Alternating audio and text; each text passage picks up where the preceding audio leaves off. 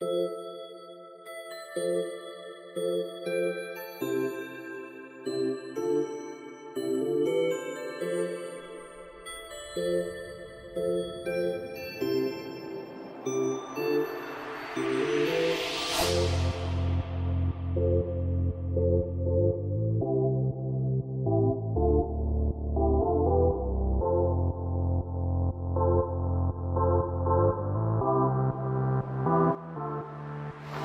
Hola, ya llegamos, ahora estamos saliendo a caminar, vamos rumbo a la, a la gran plaza, la plaza central.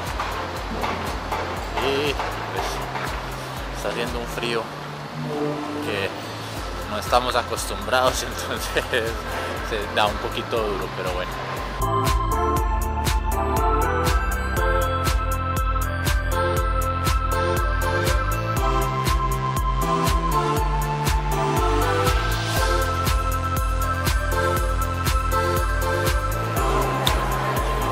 Bueno, ya estamos llegando a lo que es la gran plaza. Lo que estamos viendo allá al fondo son las primeras imágenes con las que nos encontramos. Que miren esto. Que increíble. Wow.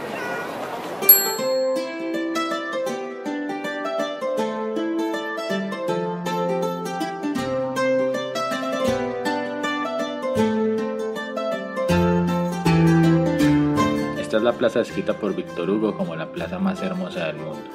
Fue declarada Patrimonio Mundial por la UNESCO en 1998 y es el centro histórico de la capital belga.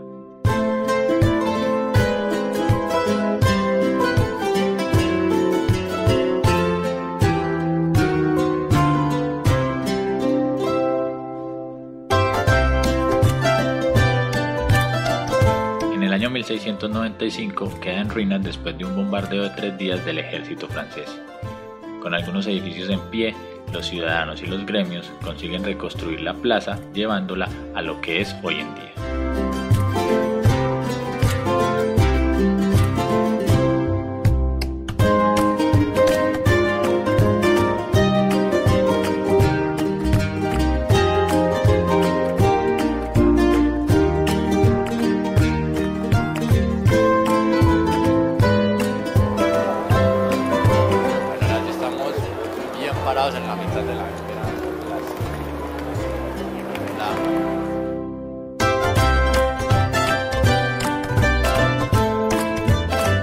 Dos años, a mediados de agosto, la plaza es decorada con un tapiz de flores de 77 por 24 metros, que hace alusión a diferentes países.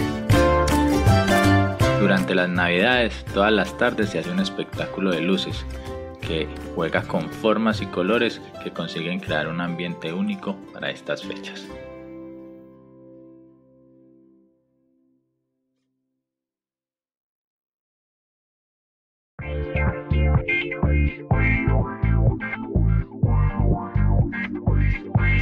Vamos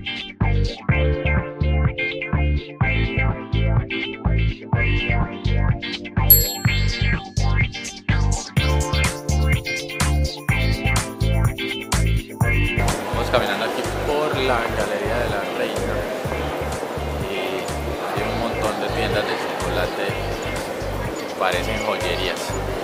Vamos a ver las vitrinas y se darán cuenta que esto parece unas horas de hambre, la verdad. Todo está hecho de chocolate.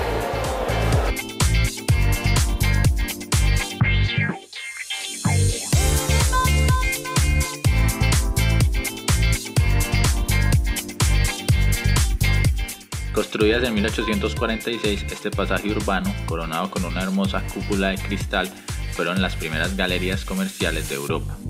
Las galerías de Bruselas están formadas por tres alas bautizadas, la Galería del Rey, la Galería de la Reina y la de los Príncipes.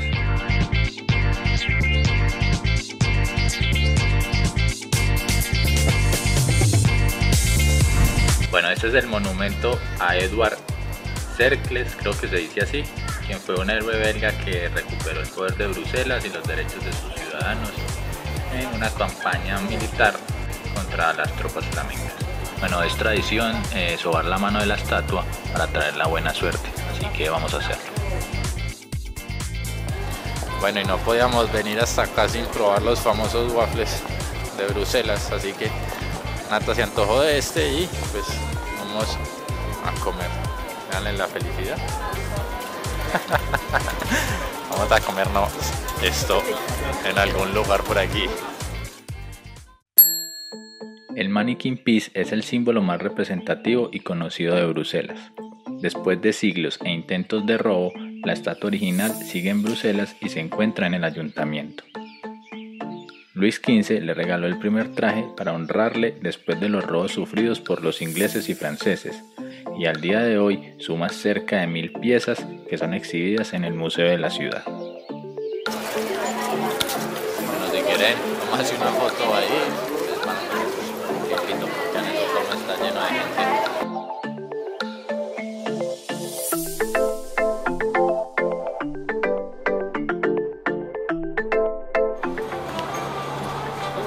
Coger la lluvia en Bruselas, pero bueno, así corta el clima, así igual vamos a conocer lo que podamos ver.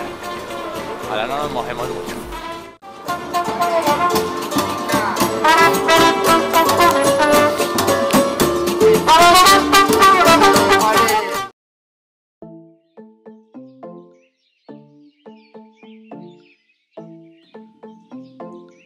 Bruselas también es conocida por ser la capital mundial del cómic.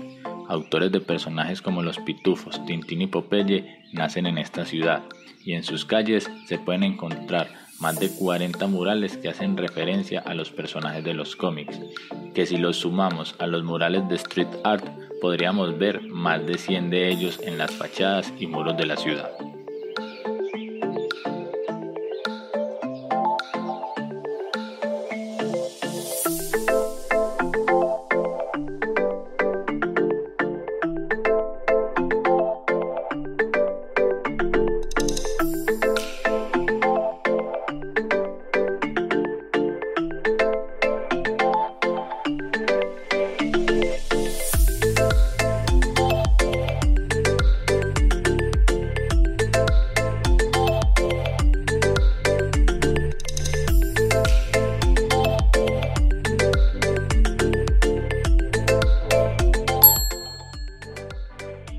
Palacio Real de Bruselas es la sede oficial del gobierno del rey de Bélgica.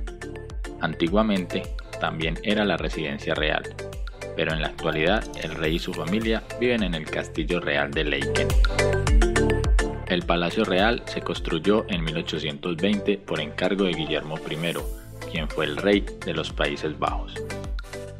El palacio se construye en el mismo lugar donde anteriormente se levantaba el antiguo Palacio de Kudenberg que fue destruido por un incendio en 1731 que inicia en el cuarto de la archiduquesa María Isabel de Asturias, el cual fue imposible controlar dadas las heladas que dificultaron el acceso al agua.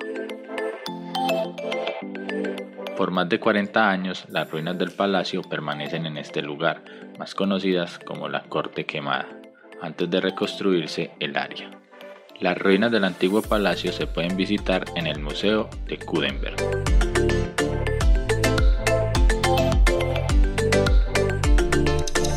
Desde 1965 el Palacio Real de Bruselas está abierto al público y se puede visitar tanto las salas del palacio como las exposiciones que allí realizan, aunque solo se puede visitar entre el 22 de julio y el 7 de septiembre.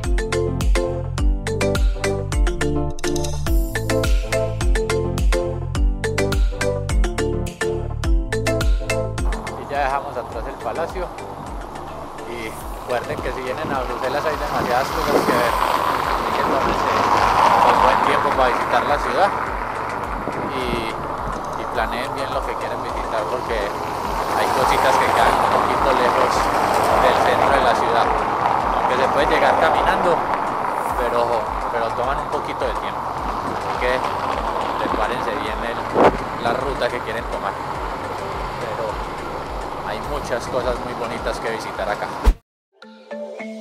Este reloj adorna la fachada del Palacio de la Dinastía.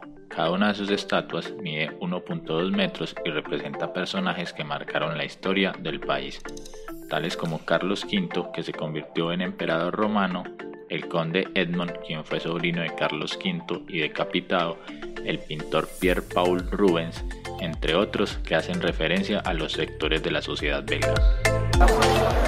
Si de día se veía bonito, de noche se ve muchísimo mejor. Así que tienen la oportunidad, vengan en el día y en la noche. Porque de noche la luz la hace ver mucho más bonita de lo que es.